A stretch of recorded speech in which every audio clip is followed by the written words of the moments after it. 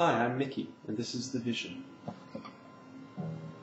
Some have called me a blind man, others call me visionary, for I have seen the truth by opening my eyes.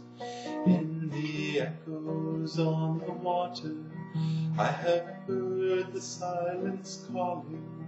In the shades of evening, seen night arise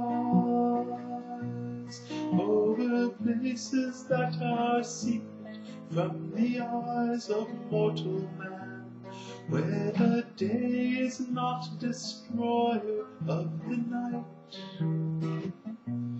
There's a stillness in the forest where the light has shaped the darkness into shadows where the dark perfects the light.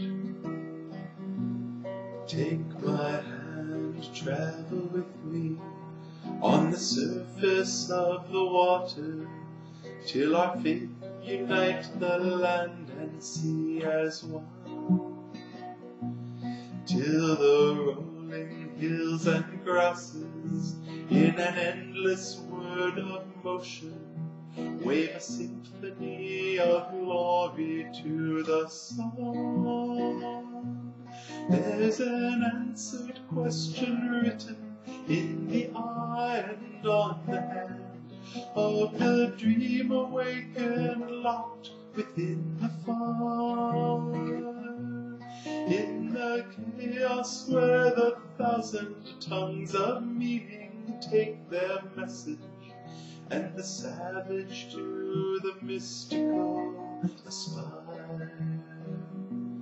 Don't go following the blind or listening to the visionary, for you can see the truth by opening your eyes. In the echoes all around you, there are silent words unspoken, as if speaking turned the sacred truths to lies. There are places in you secret from the eye of mortal man, where the truth destroys the myth of wrong or right. There's a stillness in your spirit where your light has shaped the darkness into shadows where your dark